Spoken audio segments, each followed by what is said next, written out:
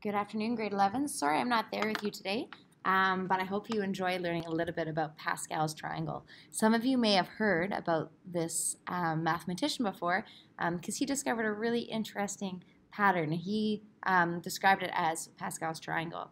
So it's a particular type of triangle that is formed by having a 1 at the peak of a triangle. And then every number thereafter is the summation, is the sum of the two terms directly above it. So what this looks like is we're going to start our column off with a 1 up front. On the second row, we're going to envision that these values, or on the left-hand side of 1, since there's nothing there, I'll erase these zeros in a second, but there's two little zeros up top. 0 plus 1 gives me a 1 value here. 0 plus 1 on the right gives me another 1. I've now created the first two columns of a, um, sorry, the first two rows of a Pascal's triangle. As I expand from here, 1 plus 1, notice we're adding adjacents here, gives me 2. But again, on the outside, I realize that there's nothing there. There's a 0. 0 plus 1 when I add them together gives me the same value here, which is 1. You can see that the outside of my triangle will always be kind of shifted with 1 values. It's always 1 on the outside. We continue the pattern. When I add in the middle, 1 and 2 adds to 3. And on the same thing here, 1 and 2 adds to 3. To get our outside terms, remember we need to go on both directions. The little 0 on the outside plus 1 adds to 1, and the same thing here. Let's continue for two more rows. 3 and 3 are going to add as well as these terms here. So I'm adding the two adjacent terms above to get my term here. 6, 4, 3 plus 1 is 4. And again, if I want the outside values, so we always want to end our triangle on the outside. I have 1 plus 0 is 1. We'll do one more row, but this pattern continues indefinitely. The arrows indicate the summation that's going to occur, and I always go outside as well. Um, with this, um, we're going to add 0 plus 1 on the outside, gives us 1. 5 on the inside, 6 plus 4, 10, 10, 5, and 1. And if I notice each row has a pattern. If I were to look, we have 1, 2, 1. The next row, 1, 3, 3, 1. 1, 4, 6, 4, 1. And 1, 5, 10, 10, 5, 1. They're symmetrical kind of about this line here. If you look, the right-hand side looks the exact same as the left-hand side. Now there's a bit of terminology we want to refer to here. We'll start by talking about our rows. The one thing that is interesting about our rows and a little bit different is we don't start off with row 1, but rather we talk the top row as row 0. This becomes row 1, row 2, 3, and you can see that I have drawn 5 rows. Row 5. With that, Notice it's the first time 5 appears in row 4, the first time row 4 appears. The reason we call the first row row 0 is because no addition has occurred. So that's the first of our terminology. The second is to talk about these diagonal lines as columns. Starting at the left-hand side, the top column, just like our rows, is called column 0. there should be an N there. This makes this column 1, column 2, and we would continue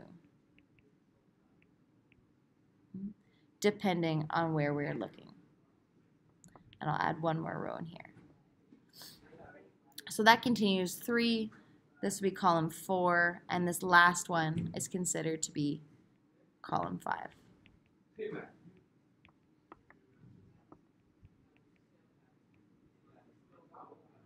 5. So here's our definitions below. We said that a row was the horizontal collection of numbers, And our columns are our diagonals, or the diagonal collections of numbers. Referring to yesterday, we talked about the word term, and it meant a specific number in a row or a column.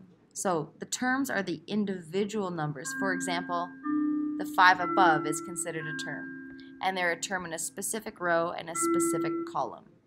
Notice here, row is n, and we use column defined by the variable r.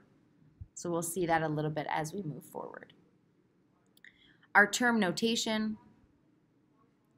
when we talk about this, this is a bit different for today. Term notation indicates not just the term, whether it's term 1, but the row and the number. So this is term n, comma, r. That's how we talk about this, where n, both n and r are subscript. I'll maybe make that a little more clear.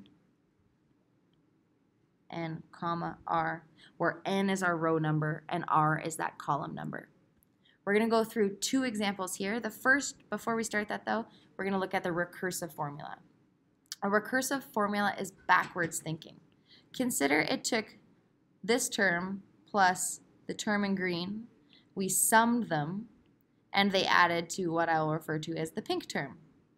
So to come up with that pink term, which is in a specific row and a specific column, remember if we considered these two to be our column numbers, this would be our final row n.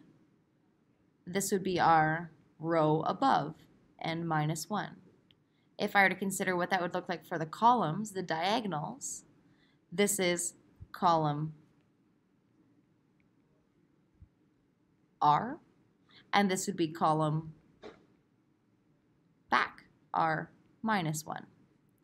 So what does that look like for a recursive formula? in our notation to get the term n comma r specifically, I would get term n minus 1 comma r minus 1. That's the term above. And I'm going to add it to term n minus 1 comma r. Notice when I am adding, I am adding, and I'm going to add color so we can see. So the term that came before this is my n minus 1. Notice that is still, I guess I'll go back to green since the second one is green. They are in the same row. The row number is the same because they were both a row above. But the term on the left had a column of r minus 1. It was 1 back. And my final term had a column of r, which is the same row as my final value. So notice in this equation, there is no n. Um, it is just the r and n minus 1s. This will make a lot more sense as we continue to go through. Um, if you want to stop your computer right now and look up recursive formulas for a Pascal's triangle, there are lots of videos available.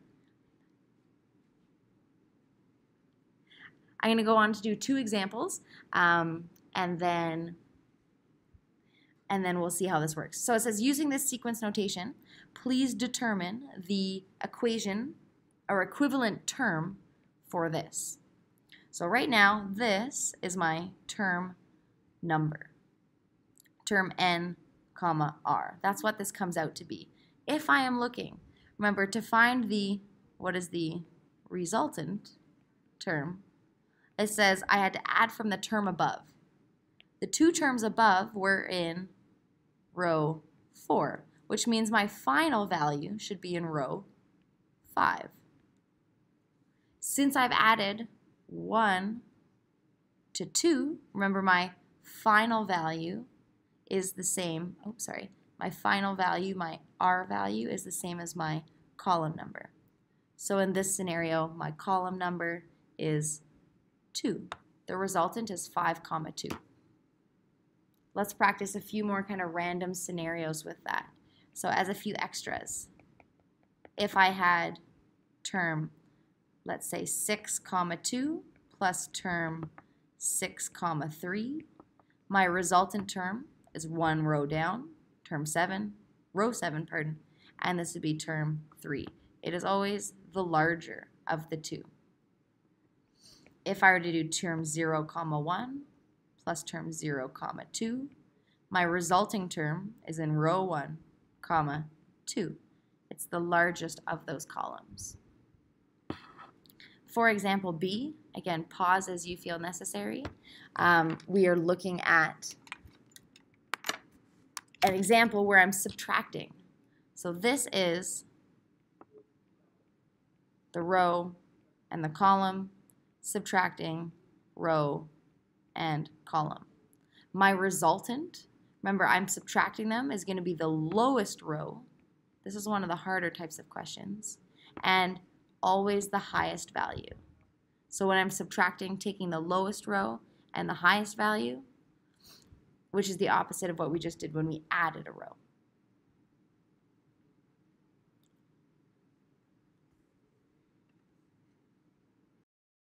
At this point, we're going to move on and add some patterning or some really cool applications to binomial expansions. This is something we saw a long time ago, where we talked about having x plus 2 all squared. If I were to expand this value, it is x plus 2 times x plus 2. And we expanded this by foiling those terms out. There's a really cool application of Pascal's triangle, which allows us to expand any binomial to any degree, whether it's 1, 2, 3, 4, 10, 100, whatever degree, by looking at um, how that relates to our Pascal's triangle. So we're going to just look and observe the following expansions. Here, if I exp expand a plus b to the power of 0, I get 1. Notice that is the first um, value in my Pascal's triangle. When I have a and b, notice it is 1a plus 1b. I get the ones here. If I were to expand a, expand a plus b squared, I get 1a squared and 1b squared on the outside. And notice what's happening in the inside term. I'm left with 2ab. We look at continuing the pattern for the cubed and the fourth term. Notice the outsides all have coefficients of 1. When I expand my cubic, notice the degree. I'm going to go with some orange here. The cube term, I have a 3 and a 3. And in the very last one, we'll see what other colors we can get in here. Four, four, and in the middle, six. And you see those exact same patterns happening on both sides. So by looking at or knowing Pascal's triangle, I can know the coefficients of any expansion. What I'd also like to point out to you is what these values mean. Notice we said our first row was called row 0. When I expanded a plus b to the power of 1, this is row 1. The coefficient tells me the row number. And I, I didn't mean coefficient, I meant exponent. The exponent shows me those different row numbers. So that's something, a kind of cool thing to note as well. Um, we're going to do two examples where we're going to expand these, and then you'll have um, a challenge one at the end. So let's make this to the exponent of 5. It is something that we haven't seen before. So I'll maybe just add it into our chart above before we start. An exponent of 5 would be a to the fifth plus 5a 4b plus 10a cubed b squared plus 10a squared b cubed plus 5 a b to the fourth and b to the fifth. So that's an expanded version. Now, we're going to look at the patterning. As I go from left to right, let's look at the pattern on A. The exponent goes from 5 to 4 to 3 to 2, and in the last term, there are no A's. B does the opposite pattern. It starts with no B's, then there's 1, 2, 3, 4, and 5. So that's a nice pattern that we're going to use to kind of help us with that expansion. So expand a plus b to the fifth. If you can't remember Pascal's triangle, you could take your time foiling it, but that would take a long time. I'm going to start with the highest exponent. And maybe we'll, let's change this to the sixth because I just did the fifth above. So the highest exponent is 6. I'm going to skip kind of as I go over. Notice there's a plus sign in between, so I'm just going to add a few pluses as I go. A goes to the 6th, it then is to the 5th, to the 4th, cubed, squared, 1, and then nothing. I go back to the b term. b starts with nothing, so there's nothing here. Then I'm left with b, b squared, b cubed, b to the 4th, b to the 5th, and I'm left with b to the 6th. Now that I have all of my exponents, I need to deal with the coefficients. So I'm just going to move the plus signs over a little bit. In my sixth row of my expansion, it goes 1, 6, adds to 15, 20, 15, and back to 6. So if I were looking to do that, remember I'm either using a completed Pascal's triangle to solve for these coefficients, or I'd build them up on the side, meaning I would take my fifth row, which is 1, 5, 10, 10, 5, and 1, and solve for those values by adding them. Remember, those values were 1, 6, 15, 20, 15, 6, and 1. So it comes from adding the two previous terms up from row 5 to get row 6. And again, that's how I got those coefficients um, for the terms above.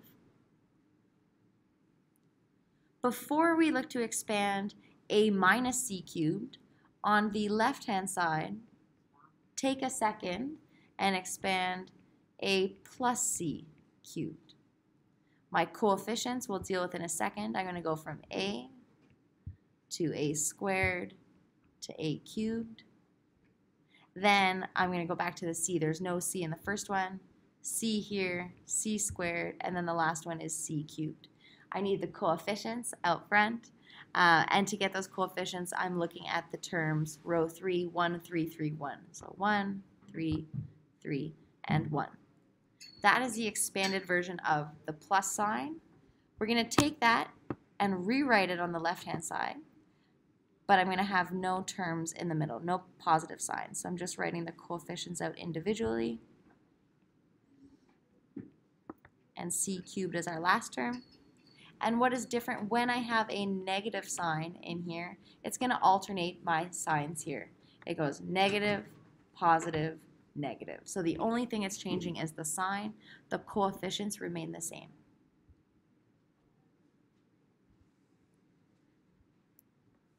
Our last example is definitely an extension problem.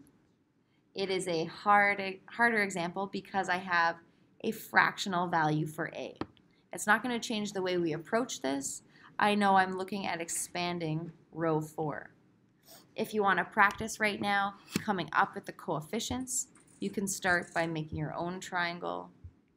3, 3, 1, and that's row 0, 1, 2, 3. I need to go one more, 1, 4, 6, four, one. So that is row four. Those are the coefficients I'm going to use. We start with our A values, and then I'll add the coefficients in. Remember we said to the fourth. In the next one, it is cubed, and it goes down. This is squared, A over 2, and the last one has no terms at all. We're going to come back and fill that in with x. Remember, the first term has no x values. The second term will have an x to the 1, x squared, x cubed, and the last one should end in the highest degree possible, 4. I now go back and fill in my coefficients, 1, 4, 6, 4, 1, 4, and 1. And since everything is a, a addition in this, the positive sign here, we add positive signs throughout to make sure my values are a little more distinct. Great. In a question, this gets you three marks. So that's exactly what I'd be looking at um, to say kind of three marks out of 4. So if you can get to this step, you are wonderful. To get your final mark, all I'm doing is I need to simplify with my exponent. So a to the fourth over 2 to the fourth, which is 16. We're going to add it with 4. This is a cubed. There's an x. And then 2 cubed is 8. Um, keep going. 6. This becomes a squared. x squared. And the coefficient on the bottom, 2 squared is 4. The last two terms, I'm left with uh, 4a x cubed all over 2, and the last one is x to the fourth. That got you your final mark. And for 1, communication is making sure I simplify the values here. Your final value would read a to the fourth over 16, a cubed x all divided by 2. This is going to be 3a squared x squared all over 2 and then 2ax cubed plus x to the fourth. So that communication is just making sure I'm taking the time to simplify. One last fun fact before I leave you today is that the sum of a row, if I were to add up all the terms in a row, is 2 to the n, where n is my column number.